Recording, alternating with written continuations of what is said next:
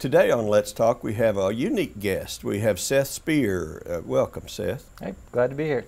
And Seth is unique because he served a what I guess we would call an interim position on the city council. Yeah, that's uh, what I've made sure to tell people. It was it, it was interim.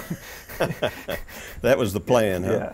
Well, you stepped up when called upon because we had a city councilman who, who left before left the city before his term ended, and when that happens, the law requires uh, if it's less than two years uh, that that the city council uh, vote on a replacement. It, it would be a, a part of the general election if there were more than two years remaining on the, the, the term. So in this case, Seth uh, volunteered to come sit on the council uh, for what? How long was it, Seth? Four months? Yeah, I think three and a half, four months. Three and a half yeah. to four months yeah. before the before the next election cycle, and in doing so, that really made him ineligible to run. It to, was for past. the seat. Yeah, yeah, it was past the point where I could put my name in that. Oh, I got you. Yeah, okay, yeah, so it was just it was it was beyond the opportunity to stay. Yep. So. Um, tell me what you what you thought about it going in and, and what you think about it looking back. Uh, it's kind of funny because I thought I could just get in there and do something, mm-hmm. and that's that's not really how it works. it's more of a, a job, and so, I mean, I took it, and I'm glad I did. I just tried to do the best I could in the short amount of time I was there. Absolutely, and I think everybody appreciated you, but I want you to go into that. You know, you thought you were going to do something and, and you found the, the difficulties. Explain what that means, because I think what you're getting at is that the, the, the wheels of government turn slowly. But but explain yeah, in your words. I guess there's um, there's periods of proactiveness and there's periods of uh, just doing what's in front of you.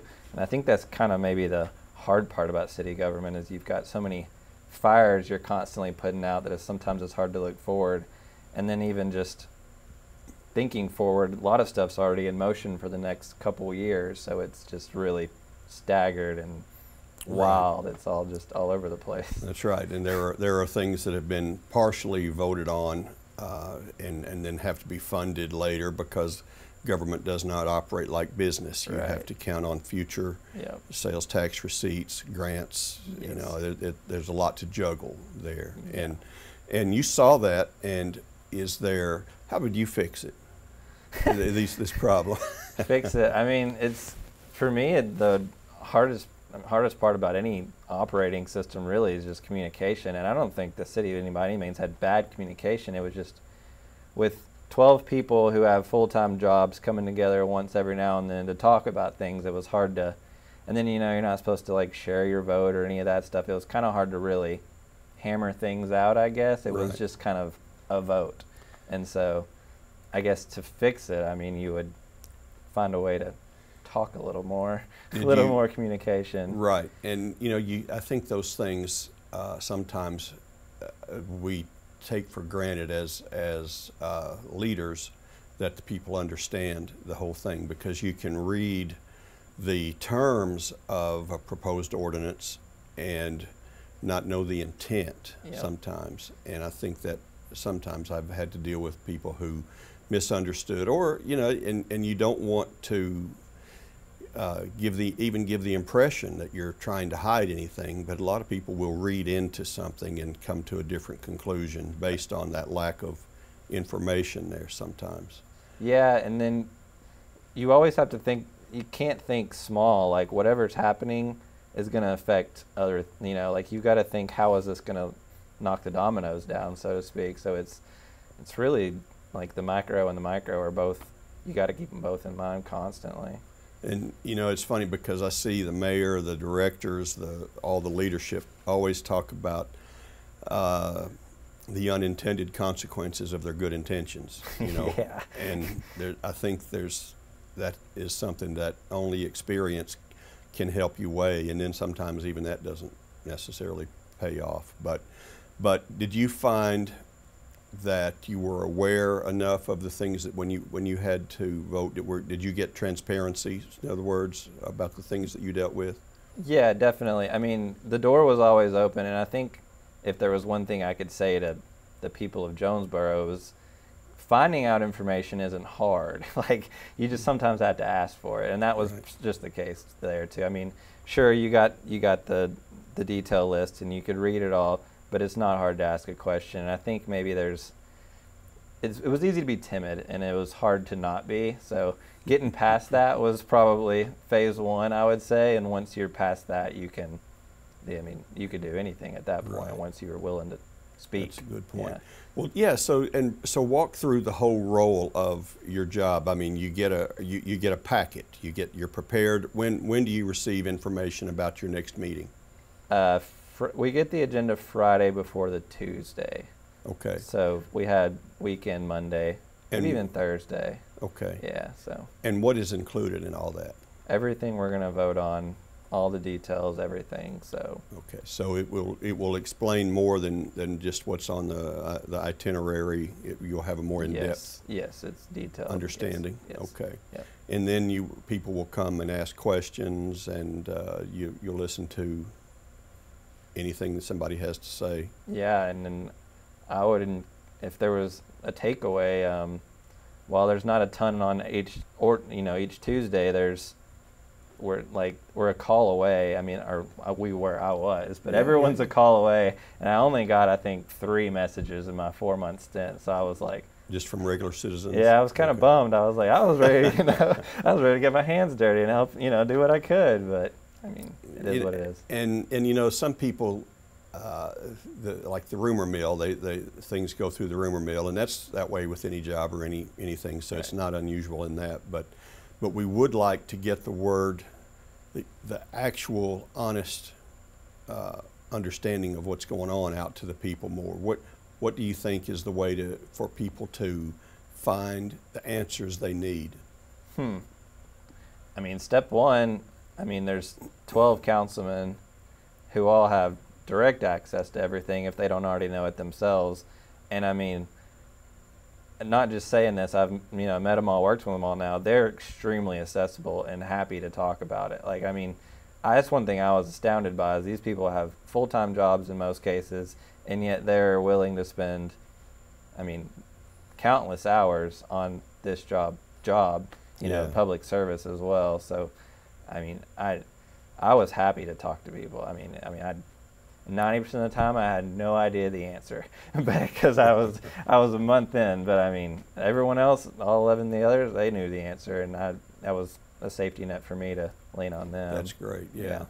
Well, and you know, to your point, um, I moved here uh, going on seven years ago, and, and I saw 12 council members, and that's more than any city I've lived in, and I thought that was a lot to keep up with. But after you get to know them, you realize that, that Jonesboro is a passion for all of them, and they all, you know, uh, want, and they may have different opinions, but they have the same end goal to serve Jonesboro, and that's pretty, it's easy to admire that. I, I think politics in a nutshell, if you can respect, especially on a city level, that basically everybody wants the same end goal. It's how they get there that's different. I think you can really work together. That is the key. That's, Yeah. that, that understanding and that trust has to be built in there. But, and you found it easy to access that trust with other with oh your yeah, peers at I, the time. like I was expecting more politics, and Mhm. then there was it was just It was it was just it was just yeah like let's just get it figured out and done properly so the city's in the best shape possible.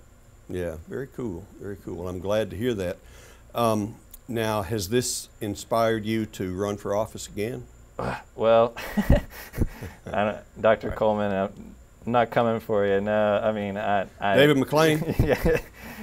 Uh, as of right now, no. I mean, I definitely want to stay involved in any way possible, and I'm happy you had me here just so I could kind of dip my toe back in. But I think it's important to just keep your ear, just keep listening. You know, uh, give feedback. You know, ask questions, and then if the need comes, if I see an opportunity, I'm not I'm not closed to it. So Right. yeah.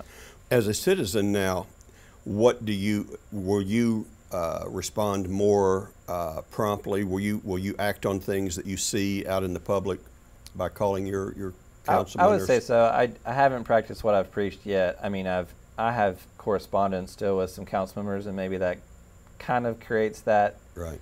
just uh, naturally. But Yeah, I mean, I definitely I don't have any hesitation now. That's for sure. Like I don't mind. Like I think that was that's what really helped, and that's one of the main things I learned is you, there's like there's no getting in trouble for like you know asking a question Right. or s- submitting a request or response. So I mean, it's Right. just do it. Yeah. Now, did you ever contact the mayor? Did you did you get in or the administration? Did you deal with them Prior to or while I was during the during your time? Yeah, I had a couple meetings with the mayor just Okay. to talk things over, and we had, you know, we had some, some uh, planning meetings and that sort of things that I was a part of. So yeah, that was that was cool. Okay. And and any of the departments? Did you did you ever deal Not so much with the departments. No, Okay. no, just the mayor's office. Yeah, I just wondered how much. Uh, I mean, I, I work in the office, so I obviously see some things, but I, I, I know that there are some conversations independently with council members. But the law requires that no more than two Right. uh, elected council people can be in, in a conversation about city government at the same Yeah. time. Which which was interesting.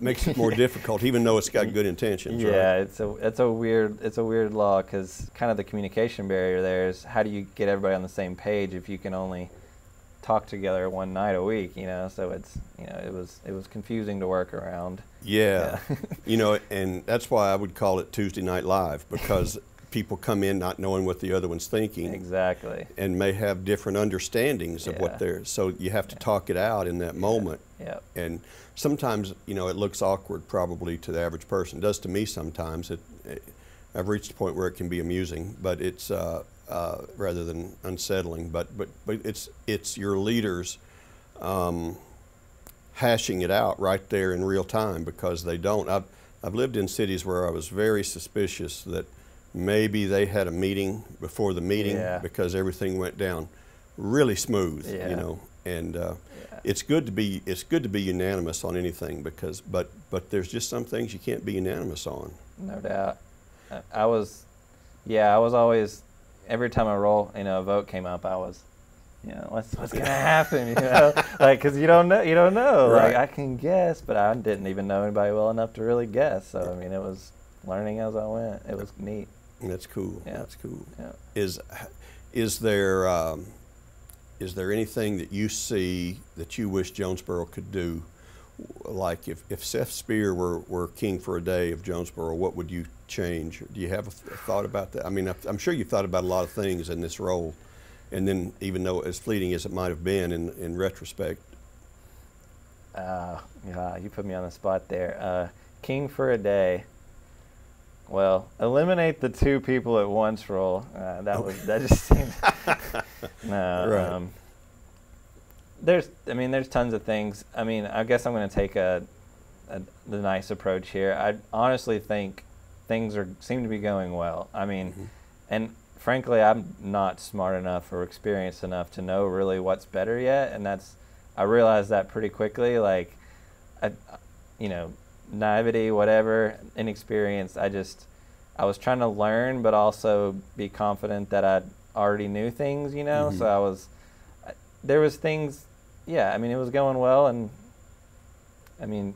I think give me another year, and I, I think I could probably You- come up with a better question. you could make some better better answer for Right. you. Yeah. And I, I like that though. But you know, every time you say somebody doesn't have experience, you're also saying we've got some fresh eyes looking at this. for sure. And so that's what you know. You, you get you get laser focused and or tunnel vision, I guess is what they would call it. And Yeah. and that's not good. So we always want fresh eyes, and we want uh, we want the Seth Speers of Jonesboro to run for for city council and other positions in the city. So you know we've got a, there are a lot of elected places that, that you can come to serve. And uh, if you had to give advice to someone who thought they might want to run for for an office in the city, what what what's the first thing that comes to mind that you would want to tell them? Definitely go to a couple meetings or listen into a couple meetings and just get familiar with the process because there is a process and it's not just a free free flowing of ideas. It's it is you got to go through procedure and um, get familiar with that and just but at the same time just be ready. Don't be timid. I, mean, I think that's one thing I, I maybe have a little regret on is early on i was i understood I, it was good for me to listen and learn but i think i probably had something to offer right away, and I w- didn't offer it basically, and that I was see. yeah a regret. Yeah. Well, you know what? Uh, he was uh, a, a short-term city councilman uh, out of the goodness of his heart, and so maybe we will see Seth Speer again somewhere in, uh, in this, we, Congress. You've thought about running for Congress? Whew. I can barely do the nine to five, so I'm not sure about Congress. Maybe someday. And you know, that's one final point I want to make is that you, you, you talked about the city council members do have nine to five jobs or eight to five or tw- 12 to 12. Yeah. But uh, what is what is a council member paid for being on the city council? ten thousand dollars a year. 10,000 a year. So I think that comes out to, uh, I don't know. We we there's a little joke running around about how much it is a day, but uh, but yeah, it's it. I mean, it's not charity. We do get compensated, but at the same time, and it's a job that you could you could spend as much time, limitless amount of time doing it. So it's kind of interesting that Right. dynamic there. Right. So Yeah. it's it's it's more of a gratuity than a than a Yeah, I mean, ten thousand dollars is nothing to scoff at, but at the same time, for the you could end up working, you know, a lot more than ten thousand dollars worth. So That's yeah. right. So there is some goodness of the heart in, in, Yeah, from, from, yeah. th- from this role Yeah, right here. yeah. So, hey, she, he's Seth Speer, and Seth is uh, uh, somebody that I'm proud to meet in, in Jonesboro, and I think everybody on the city council agrees with that. So, Seth, thank you for taking time to visit with us yeah, on Let's thanks, Talk Jonesboro. Thanks for having me, and look forward to seeing you again someday. Me too, bro.